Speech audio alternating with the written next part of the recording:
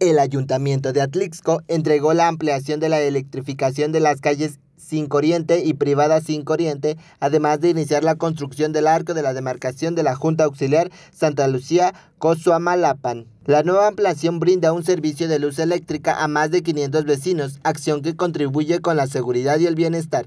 Para esta obra se colocaron e instalaron postes de concreto reforzados, luminaria y acometidas domiciliarias, así como un transformador monofásico tipo poste de 10 kVA y uno más de 15 kVA, con una inversión de 1.104.000 pesos. Además de esto, el gobierno municipal inició la construcción de un arco de bienvenida en la calle Miguel Hidalgo, esquina con calle 5 Norte, la cual medirá 10.95 metros de anchos y 7.76 metros de altura. La inversión destinada al mismo fue aproximadamente de 616 millones de pesos. Para STV Atlixco Puebla, Rigoberto Santos.